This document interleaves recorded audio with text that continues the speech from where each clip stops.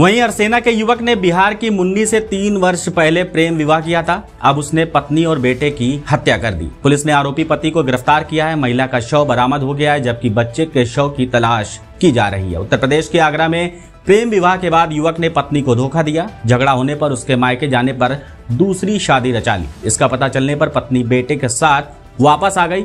उसके साथ ही रहने की जिद करने लगी। युवक ने दोनों को रास्ते से हटाने का प्लान बनाया। बाइक से ले गया। फतेहपुर सीकरी में हत्या कर शव फेंक दिया।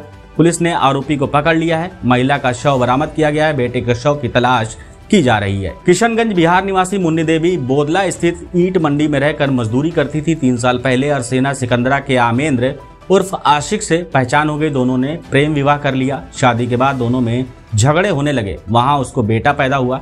तब से वो वहीं रह रही थी। उधर मुन्नी के जाने के बाद उमेन ने दूसरी शादी कर ली। इस बात की भनक मुन्नी को भी हो गई। वह दो दिन पहले घर से ससुराल जाने की बात कहकर निकली। टुंडला में ट्रेन से उतरी, इसके बाद उसका परिवार के लोगों से संपर्क टूट गया। थाना प्रभारी का कहना कि उमेन की बात पर पूरी तरह से विश्वास नहीं है। उसे ले जाकर नहर से बेटे की शव की तलाश की जा रही। मामूली झगड़ा होने पर उसको मार दिया। उसके बच्चे का अभी तक पता नहीं चल पाया है। प्रभारी निरीक्षक धर्मेंद्र दहिया के अनुसार पति को गिरफ़्तार कर लिया गया है।